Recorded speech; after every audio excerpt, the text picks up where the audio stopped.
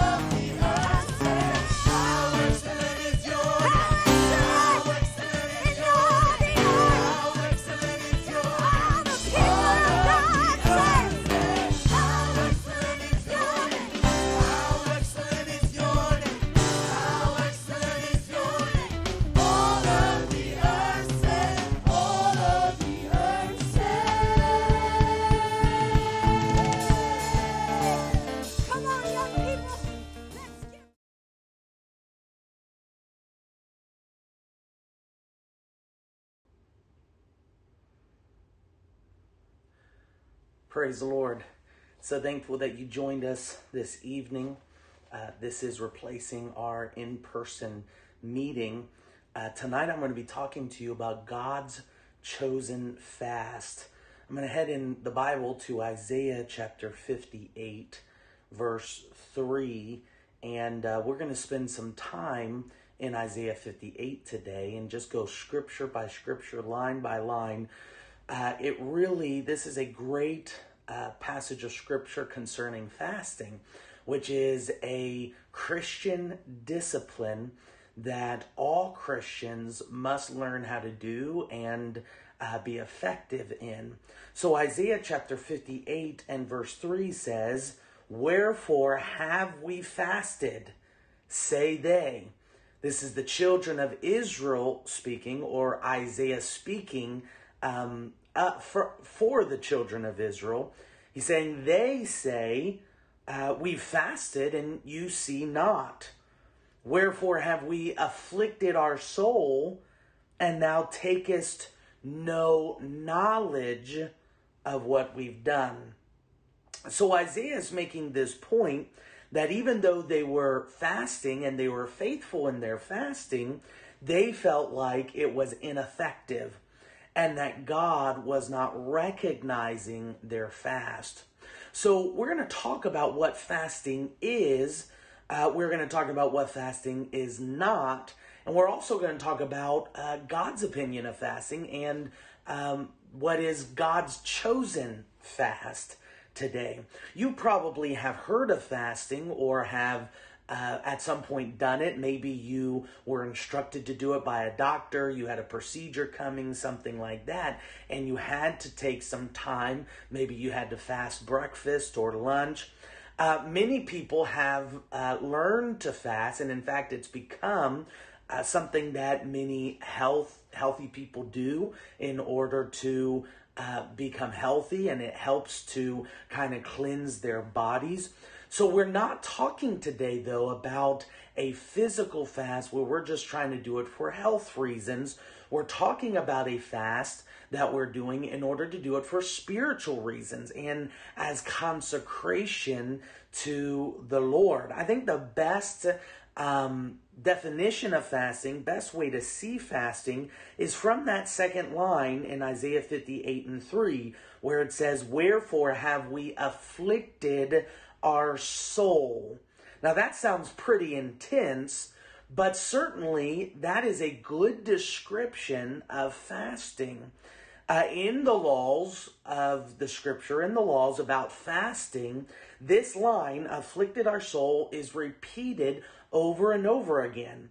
Leviticus 16 29, 16 31, 23 27, 23 32, and even Numbers 29 and 7 all use this description of fasting as the affliction of our soul. It really became almost a technical expression to understand what fasting really is. The affliction of this of our soul, this phrase expresses what is um, the spiritual value in the act of fasting. Uh, it is the repression of sensual impulses through abstinence. Uh, and it reflected in affliction, almost like harm being done, because that's how it feels to the flesh. Because what we're doing is we are repressing our sensual impulses, the desires of the flesh, the acts of the flesh, the works of the flesh. We are repressing them, we are holding them down through abstinence by not doing certain thing. Um, basically, what fasting is, it is denying ourselves. It's denying our flesh, denying our carnal nature. Jesus said that not only is denying our flesh um, essential to being a, a good minister or to being a preacher or anything like that, but anybody who desired to walk after him would need to do it. In Matthew 16 24, Jesus said to his disciples, If any man will come after me, let him deny himself, take up his cross, and follow me. The denying of our flesh and carnal nature is inherent in the Christian faith. You cannot be a Christian and not exercise this discipline of denying your flesh. That's what fasting is. Fasting is the denying of our flesh. And you can fast anything where, again, maybe if you're doing it for health reasons, you would fast food. Food is certainly one of the primary means of fasting in a spiritual sense, but you can fast anything at all as long as it is denying your flesh, because that's ultimately what it is. It is an act to deny the desires and sometimes even the needs of the flesh. One definition of fasting is defrauding our appetites. Defrauding our appetites, causing our appetites to basically be diminished. Fasting is much like dieting. Now, some diets you may go on, you may intend on uh, doing this long term. Really, that's not a diet. That's just a, a life change, which is an, a, a great thing to do. But dieting typically has a short term to it. It is a commitment to changing your eating habits for a short while in order to curb your appetite it, in order to defraud your appetite, if you will. What your your hope is is if I force myself to eat only particular things for a short while, when I'm done with the diet, I can then uh, control my cravings easier. I can curb my appetite. I can make myself eat less and eat things that are healthy for me. That's the same principle behind fasting. What I'm doing is I'm neglecting my body for a period of time, and I'm doing it with the expectation that when that period of time is over, I will be able to control my desires and my passions better.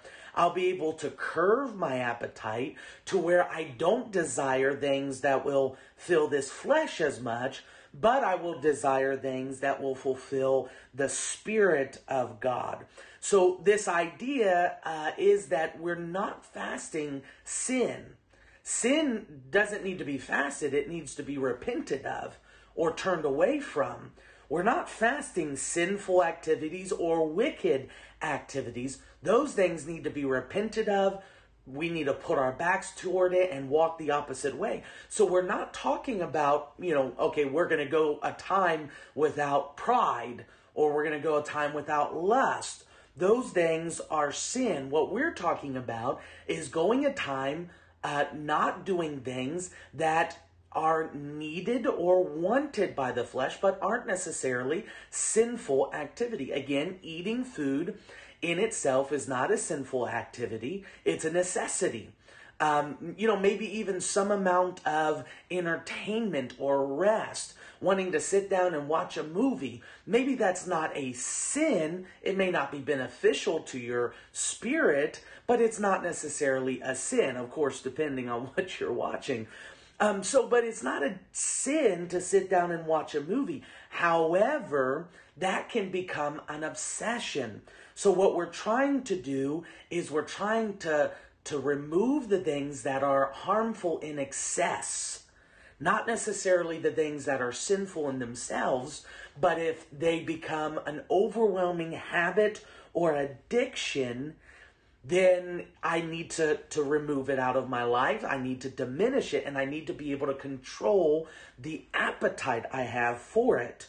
Ultimately, what I'm trying to do is reserve my life uh, and my habits and my actions down to only things that contribute to a consecrated lifestyle.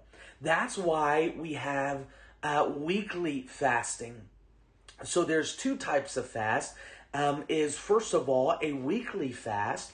This is again the, uh, the the mindset of afflicting our soul.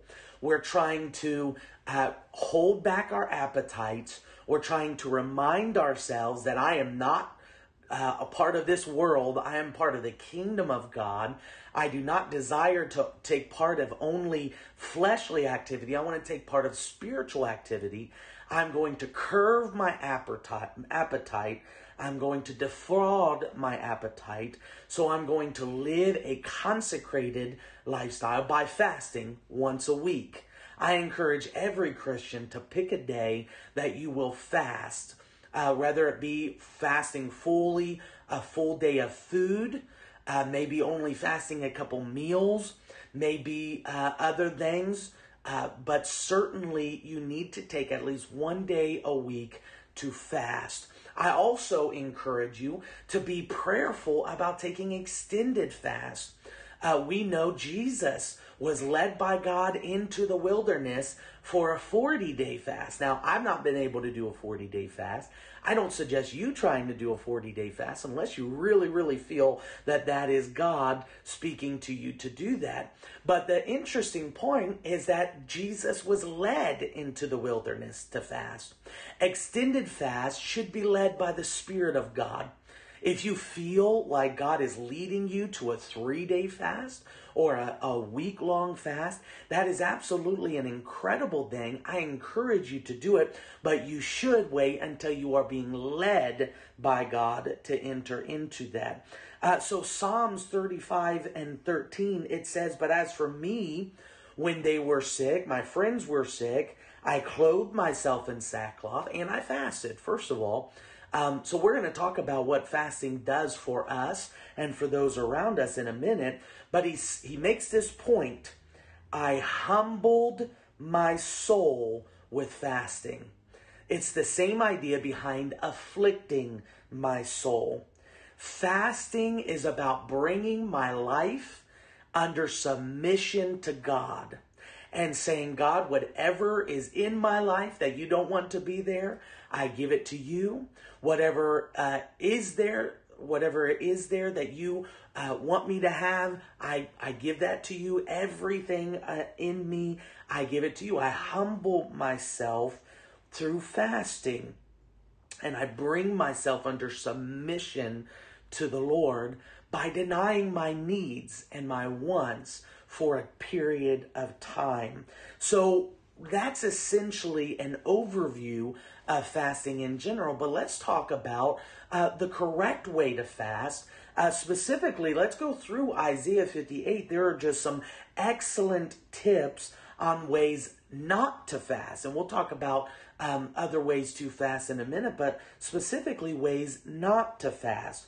We already read Isaiah 58 and 3, but I'll read it again. It says, Wherefore have we fasted, say they, and thou seest not. So they were fasting, they were afflicting their soul, at least in their own opinion, they were afflicting their souls, but God was not recognizing their fast. Why didn't God recognize their fast? Well, the reason is because their fasting had become mechanical. It had become mechanical. Now, what does that mean that it became mechanical? Well, they, in the Old Testament, fasting was often done in uh, ordained days by God. They were ordained by God to fast those days. These were uh, uh, celebrations and, and times where all of the children of Israel would come together and fast. They would fast certain things and in certain ways. So when Isaiah 58 is talking about fasting, he's talking specifically about those times and the other times, but specifically about those times where it was a congregational fast. So the problem with that is that uh, through time, it became very repetitive. Everybody knew what was going to happen. Everybody knew what was expected of them. It was no longer fresh, nor was it um, able to really bring victory in their lives because it became mechanical, repetitive. They were able to do it easily. Uh, it was done almost out of an habit or an obligation to God rather than it being a time of seeking Jehovah and sacrificing to Him. Now, this is something that we must retain in our walk with God. It is a fresh passion and zeal to seek God and to fast and consecrate ourselves, afflict our souls in order to, uh, again, consecrate ourselves to God. So, this isn't supposed to be easy it's not supposed to be repetitive. It's not supposed to be life as normal. Fasting, um, in, in the very definition of what it is and what it means and what it does for us, should not mean life as normal. If you wake up on a day that you're fasting and it's just like, okay, well, just another normal day, then you're not doing it correctly.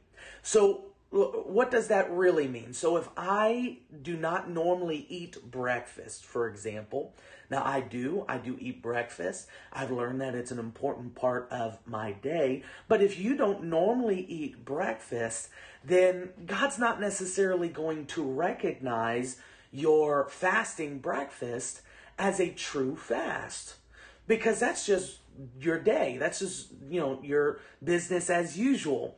Uh, my father tells the story of a young man that came to him and he was all excited, said, I, I fasted this week. I fasted this particular day this week. My dad said, Oh, that's that's wonderful, you know. So how did it go? He said, Well, you know, I I fasted between breakfast and lunch. I didn't eat a single thing between breakfast and lunch. Well, to him, he seemed very excited. Maybe it did something for him. But typically, you don't eat between breakfast and lunch on a normal day. So it's not a fast for you not to eat breakfast between breakfast and lunch on your fast day.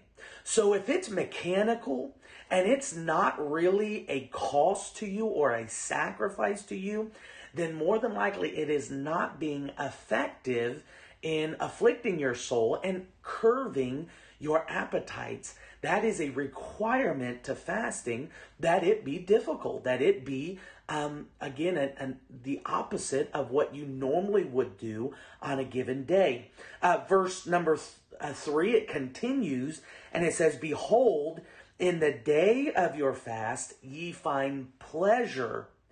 And exact all your labors. So what he's saying is, he's saying that even though you've fasted particular things and in a particular way, you're still going out of your way to find pleasure on that fast day. Now, you know, I hate to, to deny anybody pleasure, but the fact is, fasting is not meant to be pleasurable. Uh, so what I I uh, would see, and what I've even done myself, I've had to learn, is that if I'm taking a day to fast food, and I've chosen this day to spend as a day of fasting to God, I probably shouldn't go, you know, watch TV all day. Um, probably shouldn't be on social media all day. So what we often do is we replace one thing with another thing okay, well, I'm not going to eat today, but I'm going to sit here and, and enjoy myself by watching this program or spending time on this social media site. That is replacing one pleasure with another. You're not afflicting your soul. So he's saying your fast day is filled with pleasure. It's not supposed to be that way. He also says you fill your fast day with labor. You continue to work and focus on your own lives, your own finances, your own needs, rather than consecrate yourself to Jehovah. Now, I'm not naive to think that we all can take a day off every week to fast. Certainly, we're going to have to work and we're going to have to uh, be faithful on our jobs, even when we're fasting. But the idea is that that's where their mind and their heart was at. They were not taking time in consecration to the Lord. Their focus was purely on their job, or, you know, again, they just never slowed down. Their heart and mind were focused on that. Now, I'll be honest with you, this is where I fail sometimes fasting. I fall into this trip trap. I've learned about myself that my fast day often becomes my most productive day because you know I'm not eating, so I'm not spending time eating meals. I'm not spending time, you know, maybe uh, watching things or spending time on social media. So I replace that with work. Let me just t- take this time to really get a lot done. But again, that's not what fasting is about. Fasting must be a time of holy obeisance to God, a time of prayer and meditation on God.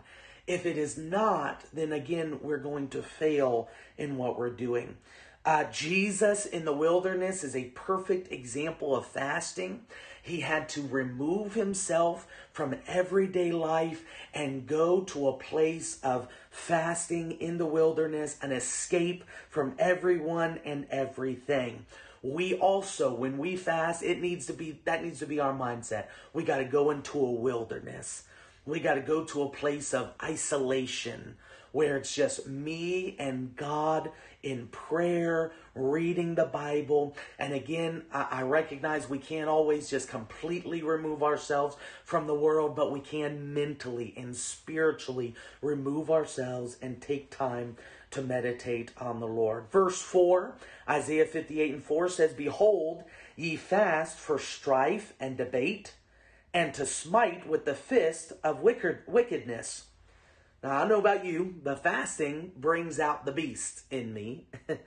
I have a very hard time being kind and considerate to other people when I'm fasting. Fasting tends to magnify our feelings and emotions. In fact, you're going to feel very isolated, isolated and alone. You're going to feel like everything, uh, I, often, especially in a, an extended fast, the first couple days, I feel horrible.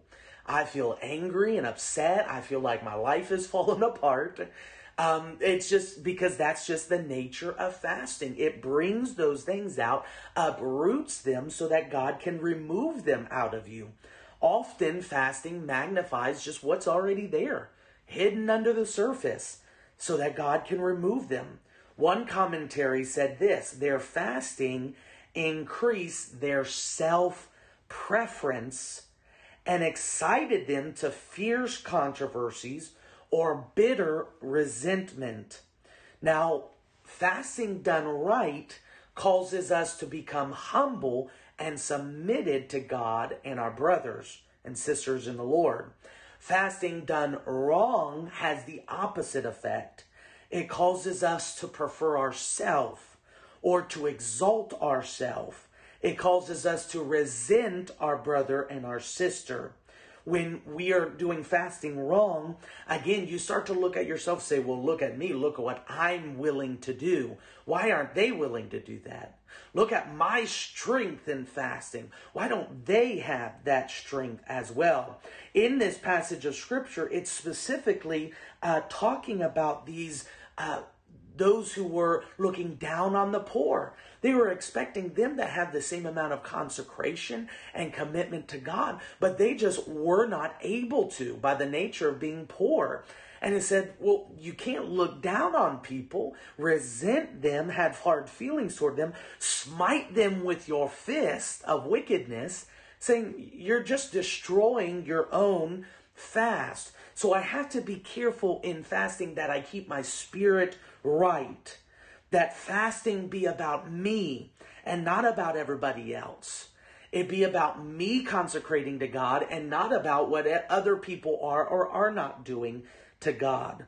Fasting done wrong magnifies pride and causes us to look down on others. We have to intentionally be careful to make sure our fasting is about submitting ourselves to God and to our brothers and sisters. Verse 4 continues Ye shall not fast as you do this day to make your voice to be heard on high. Essentially, what he's saying uh, is that you're fasting wrong.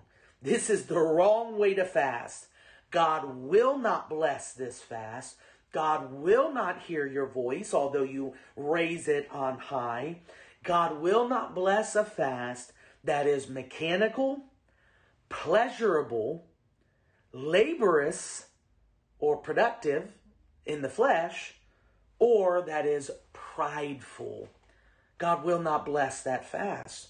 We have to be intentional about making sure our fast is not mechanical, pleasurable, uh, laborious, or prosperous in the flesh, or prideful, or productive in the flesh, or prideful. Verse 5, he continues Is it such a fast that I have chosen? A day for a man to afflict his soul? In verse 3, Isaiah speaking from the voice of the people, asking God questions, asking him, have, he, have they not recognized, has he not recognized the affliction of their soul? Uh, they said specifically, Wherefore have we afflicted our soul, and thou takest no knowledge of it? But now Isaiah's flipped the script and he's speaking as God. In verse 5, he's meant, meaning to reflect their original question by saying, Is it not the fast that I have chosen? This isn't it. This you say this is the affliction of your soul, but I'm not seeing it that way. In other words, is this really the way you afflict your soul? He goes on to ask more question. Is it to bow down his head as a bulrush and to spread sackcloth and ashes under him? So God's putting an emphasis on this and saying, you're doing it not for me, but for yourself and for those who are around you. We cannot allow our fast to become about anything more than God and consecrating our life to God. God is re- speaking in regards to their outward gesture, their posture, and signs of penitence that they were showing. Obviously, they were showing these things in order to uh, get the approval of other people. Of course, Jesus spoke on that in Matthew chapter 6 and verse 16. He says, Moreover, when ye fast, be not as the hypocrites are, of a sad countenance, for they disfigure their face, that they may appear unto men to fast. So, first of all, he says, be truthful about your fast. Don't pretend to fast when you're not. Don't pretend to have a fasting life when you don't have a fasting life or consecrated life. He says, and, and also don't make it look like you're fasting when you're not. Don't make it look like you're having a hard time. Verily I say unto you, he says, they have their reward. He says, if you're fasting in order to get the um, attention of other people, then you're going to get that.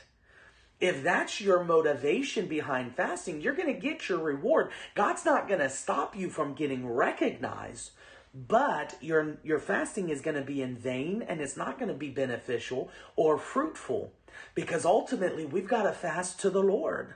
We got to do it as consecration to Him and not uh, in the eyes of other people or for the approval of other people because that may be an, a reward, but that's very short lived. Who cares if other people see that you're fasting and think that you're a great man or woman of God if you're not a great man or woman of God and you don't have a life of consecration?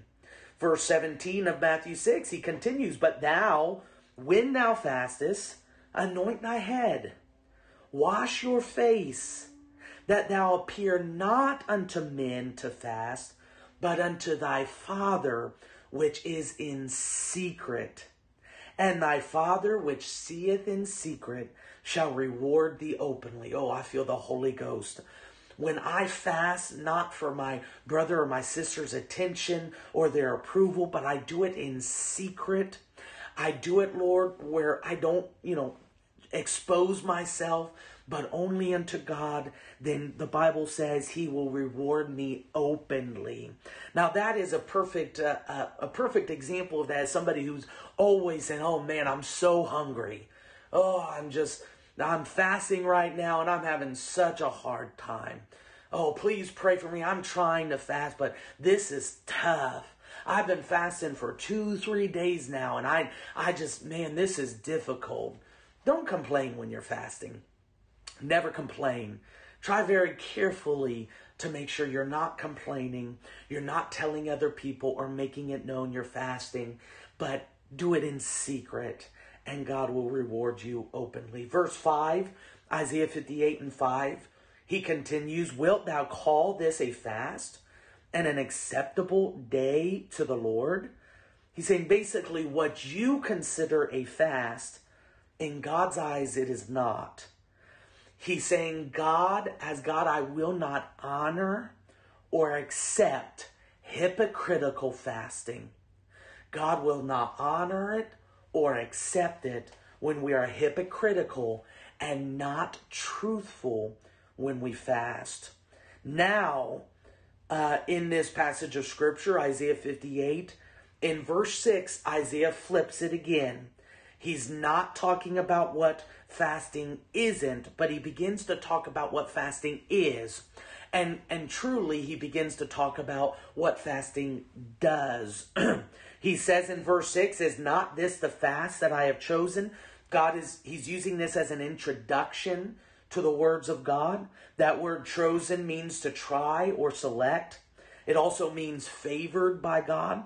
So he's saying, listen, I'm about to explain to you the fast that I've chosen that is favored by God. This should happen when you fast. If these things are not happening, then, then you're doing it wrong. You got to try to consecrate yourself a little differently or perhaps more than what you've done uh, previously. He continues in verse 6 fasting is going to loose the bands of the wickedness.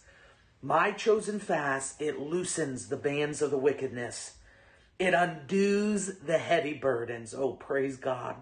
It allows the oppressed to go free and it breaks every yoke. This means that that phrase, bands of wickedness, it means to be loosed from a bad or perverse moral character. To undo the heavy burdens, let the oppressed go free means to be set free from afflictions and injustices caused by wickedness. Hallelujah. When I fast, God's able to break the chains of addiction. When I fast, God's able to rewire my brain and remove my false pretenses and false ideas on how I should live and act and all of that. God rewires it. It's just like in Romans 12, it says, Be not conformed to this world, but be ye transformed by the renewing of our minds. By fasting, we are renewing our minds in God, and He transforms the way we think, the way we feel. And I know that, that this may seem contrary to the other, but fasting, which may be hard and difficult, painful at times, fasting brings freedom. Oh, praise God. Fasting brings freedom and liberty in the flesh. True fasting, it will provide you with a new sense of liberty and freedom in your life to serve God. Fasting can cause those who have been crushed in pieces, those who have been bruised, those who have been broken, those who are discouraged, those who are oppressed to be set free in the name of Jesus. That's the power of fasting. Praise God. Isaiah 58 and 7, it also says, Is it not to deal thy bread to the hungry, that thou bring the poor that are cast out to thy house? When thou seest the naked, that thou cover him, and that thou hide thyself from thine own flesh? Basically, what he's saying is fasting gives us sympathy towards those who are less fortunate than us. It gives us sympathy to those who are in the middle of hardships. Fasting will force you to go out of your way to care for somebody. Why? Because now you're feeling pain and you can relate to their pain. Now you're feeling want and you can relate to their want. Fasting ultimately makes us better human beings, better contributors to the world and the people who are around us. Fasting helps us to be better in all that we do because now we can relate and we're sympathetic toward those who are in pain and who are in want. That's the power of fasting. Verse 8, he even gives even just greater promises. He says, Then shall thy light break forth as the morning. Hallelujah. Then shall thy light break forth as the morning. The image here is that such prosperity would come on the people like the spreading light of the morning. He says, Thine health shall spring forth speedily, meaning thy healing will spread forth speedily. It's going to come on you quickly. So he's saying, he's promising you physical, mental, and emotional health when you fast. That's the power of fasting. He also says, Thy righteousness shall go before thee. Your spiritual health will be blessed. You'll be righteous. You'll be able to walk in the righteousness and holiness of God. So not only does he touch your physical, emotional, mental health, but he also gives you spiritual health. And then to close, he says in verse 8, he concludes verse 8 with this The glory of the Lord shall be thy re reward. The glory of the Lord shall be thy re reward. He's, he's connecting this back to the book of Exodus when the children of Israel was coming out of Egypt. And, and this is one commentary said this about it. The angels were to secure and cover the rear of God's army. Thus, the angel of his presence secured the Israelites when they came up out of Egypt. Exodus 14 19, it explains this further. It says, And the angel of God, which went before the camp of Israel, removed himself from being in front and went behind. He went behind them, and the pillar of cloud went from before their face and stood behind them. So here's what I believe God's trying to say. This is what Isaiah was communicating. When you fast, you gain the favor of God. And God starts to back you up. When he says your re reward, he's saying God is going to back up what you do. When you walk into a store, guess what? God's backing you up. When you're facing the attack of the devil, God backs you up. When you're facing physical uh, health issues, God is backing you up. When you get up behind that pulpit, God's gonna back you up. When you cast that demon possessed boy, that demon out of that demon possessed boy, God's gonna back you up. That's what fasting does. It gives us favor in the presence of God, and God backs us up. Oh, I feel Jesus right now speaking to some people.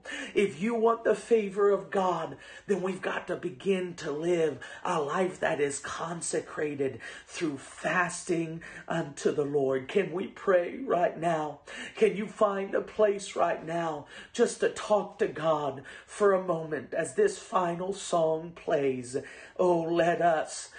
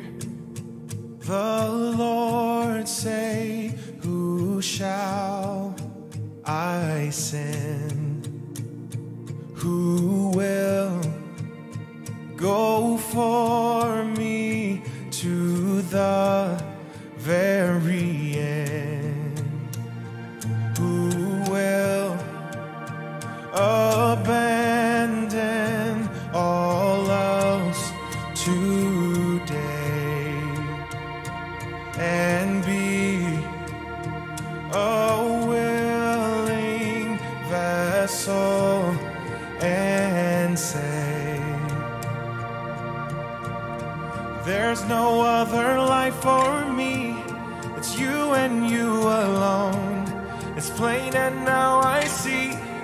I've nowhere else to go. This is my one desire that you'd allow me to be used by you.